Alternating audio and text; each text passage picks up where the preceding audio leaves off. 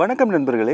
இன்றைய மாடித்தோட்டம் பதிவில் நம்ம மாடித் தோட்டங்களில் இருக்கக்கூடிய ரோஸ் செடிகள் மல்லிகைப்பூ செடிகள் அதே மாதிரி பார்த்திங்கன்னா முல்லை செடிகளுக்கான ஒரு சூப்பரான அப்டேட் தாங்க பார்க்க போகிறோம் இந்த உரங்களை நம்மளுடைய ரோஸ் செடிகளுக்கு கொடுக்கறதுனால இந்த வெயில் காலங்களில் நம்ம ரோசா செடிகளில் புது தளிர்கள் அதிகமாக வரும். அதே மாதிரி பார்த்திங்கன்னா வரக்கூடிய தளிர்கள் முட்டுகள் கருகாமல் நம்ம பூச்செடிகளில் அதிகமான பூக்கள் வந்து பூக்குங்க.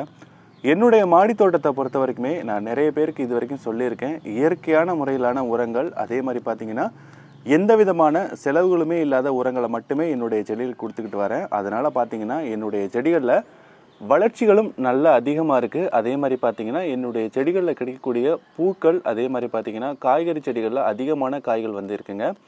அடுத்தது பார்த்தீங்கன்னா நிறைய நண்பர்கள் இன்னுமே நிறைய சந்தேகங்கள் கேட்குறாங்க. அதுக்கான ஒவ்வொரு கேள்விக்கான பதிலும் ஒரு ரெண்டுலேருந்து மூணு கேள்விகளுக்கான பதில் வந்து நம்ம இந்த வீடியோவில் பார்க்கலாம். எதுக்காக அப்படின்னு பார்த்தீங்கன்னா இது வந்து ரிப்பீட்டாக வரக்கூடிய கேள்விகள். இது எல்லா நண்பர்களுக்குமே இந்த விதமான சந்தேகங்கள் இருக்கக்கூடியதான் ஸோ நம்ம வீடியோக்குள்ளே போகலாம் என்ன விதமான சந்தேகங்கள்? அதே மாதிரி இன்னைக்கு கொடுக்க வேண்டிய உரம் என்ன அப்படின்றத நம்ம தெளிவாக பார்த்துடலாம். முதல் கேள்வி அப்படின்னு பார்த்தீங்கன்னா ஒரு நண்பர் கேட்டிருந்தாரு. நாங்கள் செடிகளுக்கு வந்து மூடாக்கு யூஸ் பண்ணியிருந்தோம். அதாவது மூடாக்கு போட்டிருந்தோம். நீங்கள் வந்து ரெகுலராக வந்து வாரத்துக்கு ஒரு முறை இல்லை பதினஞ்சு நாளைக்கு ஒரு முறை மண் இருக்காமல் இருக்குது அப்படின்றதுனால நீங்கள் கிளறி விட சொன்னீங்க. நாங்கள் போடக்கூடிய மூடாக்குகள் வந்து அப்படியே மண்ணை கிளறி விட்டோன்னே உள்ளே போயிடுச்சு பாட்டுக்குள்ளே போயிடுச்சு அப்படின்ற மாதிரி சொன்னாங்க. அது கண்டிப்பாக நடக்க வேண்டியதாங்க எதுக்காக அப்படின்னு கேட்டிங்கன்னா நம்ம போடக்கூடிய மூடாக்குகள் செடிகளுக்கு ஒரு உரங்களாக போய் சேரணும். இப்போ பதினஞ்சு நாளைக்கு ஒரு முறை நம்ம வேறு வேறு மூடாக்கு மாற்றுறதுனால எந்த விதமான பிரச்சனையுமே கிடையாது. நம்ம செலவே இல்லாத மூடாக்குகள் தான் போட போகிறோம் ஒன்று பார்த்தீங்கன்னா வெங்காயத்தோல் யூஸ் பண்ண சொல்லியிருப்பேன். இல்லை அப்படின்னா நம்ம காய்கறி வேஸ்ட்டுகளை மேல் பகுதியில் பரப்ப சொல்லியிருப்பேன். இல்லை தர்பூசணி சீசன் இது. அந்த சீசனுக்காக அந்த தர்பூசணி வேஸ்ட்டுகளை கூட பயன்படுத்த சொல்லியிருப்பேன். இல்லை கரும்பு சக்கைகளை பயன்படுத்த சொல்லியிருப்பேன். இல்லை நெல் உமிகளை வந்து பயன்படுத்த சொல்லியிருப்பேன். நம்ம தோட்டங்களில் இருக்கக்கூடிய இலைதலைகளை கூட நம்ம பயன்படுத்த சொல்லியிருப்பேன். இது எல்லாமே நம்ம செடிகளுக்கான ஒரு சூப்பரான உரம் தாங்க. இதை மேல் பகுதியில் பரப்பி விட்டுட்டு நம்ம மண்ணை கிளறி விடலையும் கூட அதை அப்படியே நீங்கள் கிளறி விட்டுட்டீங்க அப்படின்னா மண்ணில் அடிப்பகுதிக்கு போயிடும் நமக்கு இது நல்ல உரங்களாகவும் நம்ம செடிகளுக்கு போய் சேருங்க. அடுத்தது பார்த்தீங்கன்னா இப்போ ஜீவாமிர்தம் கொடுக்கறதுல நிறைய பேருக்கு நிறைய சந்தேகங்கள். ஏன்னா வெயில் காலம் அப்படின்றதுனால நீங்கள் ஜீவாமிர்தத்தை பொறுத்த வரைக்குமே ஒரு லிட்டர் தண்ணிக்கு இருபது எம்எல் ஜீவாமிரத்தை மிக்ஸ் பண்ணி மூணு நாளைக்கு ஒரு முறை உங்களுடைய செ மாடி தோட்டத்தில் இருக்கக்கூடிய பூச்செடிகளாக இருந்தாலும் சரி இல்லை காய்கறி செடிகளாக இருந்தாலும் சரி எல்லா செடிகளுக்குமே கொடுத்துக்கிட்டு வாங்க. ஏன்னா நிறைய பேர் இந்த சந்தேகத்தை வந்து கேட்டுக்கிட்டே இருக்கீங்க. அடுத்தது பார்த்தீங்கன்னா நிறைய பேருக்கு இன்னுமே சந்தேகம். இப்போ காலையிலே நான் தண்ணி செடிகளுக்கு கொடுத்துட்டேன். சாயங்காலம் தண்ணி கொடுக்கலாமா அப்படின்ற மாதிரி கேட்குறாங்க. நம்ம செடிகளை டெரஸ் கார்டனில் ஓப்பன்லாம் வெயிலில் வச்சுருந்தீங்க அப்படின்னா நீங்கள் ரெண்டு நேரமும் இந்த வெயில் காலத்தில் தண்ணி கொடுத்துக்கிட்டே வாங்க. காலையிலே நீங்கள் ஏழு மணிக்கு உள்ளே கொடுத்துருங்க. அதே மாதிரி சாயங்காலம் ஆறு மணிக்கு பிறகு கொடுத்துருங்க. சாயங்காலம் நம்ம கொடுக்கக்கூடிய தண்ணி பொறுத்த வரைக்குமே சூடு இல்லாத மாதிரி பார்த்துங்க. நிறைய பேருக்கு அந்த டேங்க்லேருந்து தண்ணி வரும்போது பார்த்திங்கன்னா அதிகமான சூடு இருக்கும்.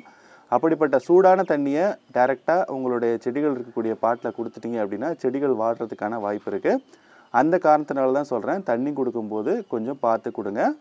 புதுசாக உள்ள செடிகளுக்கு மட்டுமே ஒரு மூன்று நாள் அதாவது தொடர்ந்து ஒரு மூன்று நாள் நிழல் பாங்கான இடங்களில் வச்சுட்டு நல்ல தண்ணியை மட்டும் கொடுத்துக்கிட்டே வாங்க. அப்படி கொடுக்கும்போது அந்த செடிகளின் வளர்ச்சி எப்படி இருக்குது அப்படின்றத நீங்கள் வந்து பார்க்க முடியும்.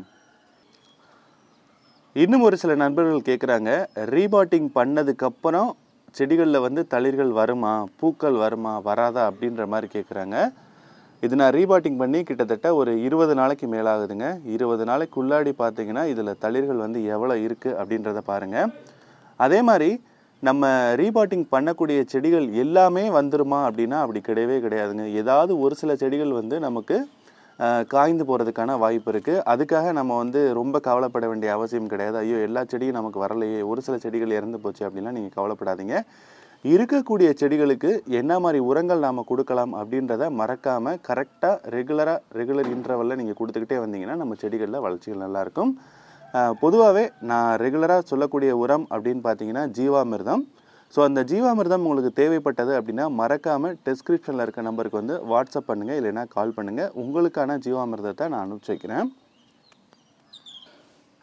இன்றைக்கி நாம் பயன்படுத்தக்கூடிய ஒரு முக்கியமான உரம் அப்படின்னு பார்த்தீங்கன்னா சோற்றுக்கற்றாழை தாங்க.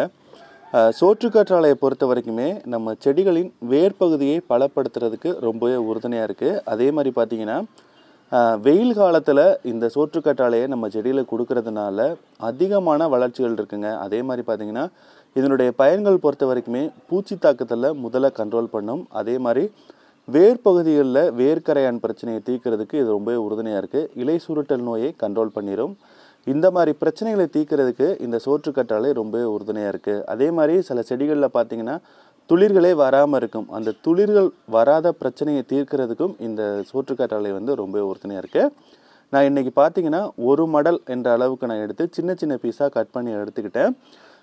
ஒவ்வொரு செடிக்கும் வந்து ஒரு நாலுலேருந்து அஞ்சு பீஸ் மட்டும்தான் கொடுக்க போகிறேன் நிறைய நான் கொடுக்க போகிறது கிடையாது. பாருங்கள் இதை நல்லா சின்ன சின்ன பீஸாக நம்ம கட் பண்ணி எடுத்துக்கலாம். இதே மாதிரி. பெரிய மடலாக இருக்கும்ல அதை சின்ன சின்ன பீஸாக கட் பண்ணி எடுத்துக்கோங்க.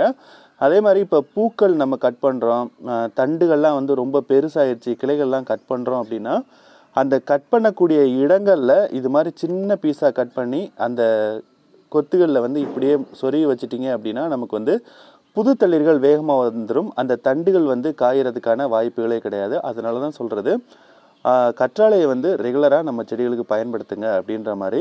இதை இன்னுமே ரெண்டு மூணு மெத்தடில் வந்து நம்ம பயன்படுத்தலாம். ஒன்று பார்த்தீங்கன்னா இது சின்ன சின்ன பீஸாக இதே மாதிரி கட் பண்ணதுக்கு பிறகு இது கூடவே இது மூழ்கிற அளவுக்கு தண்ணி நீங்கள் ஆட் பண்ணி ஒரு மூணுலேருந்து நாலு நாள் அப்படியே வந்து ஊற வச்சுக்கோங்க.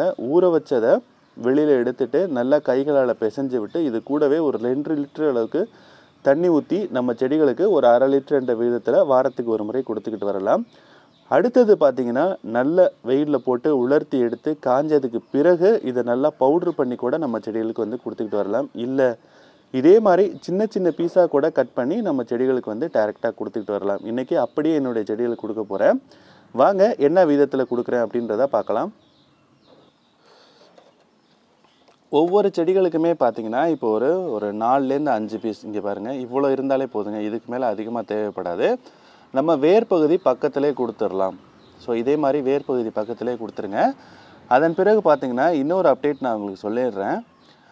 இப்போ நிறைய நண்பர்கள் கேட்குற கேள்வியும் இதுதான். இப்போ வாரத்துக்கு ஒரு முறை கண்டிப்பாக மண்ணை கிளறி விடணுமா அப்படின்ற மாதிரி கேட்குறாங்க.